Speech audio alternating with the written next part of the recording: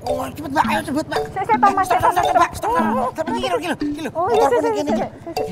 Janggungku dilumat ulat. Aku jadi bingung-bingung. Aku jadi bingung-bingung. Aku ingin jagoku sehat. Aku ingin jagoku sehat. Weh, ki ngapa lah? Malah deprok ning kono. Kowe meneng apa tak dodoli watu? Tanaman jagungnya dimakan ulat. Heeh.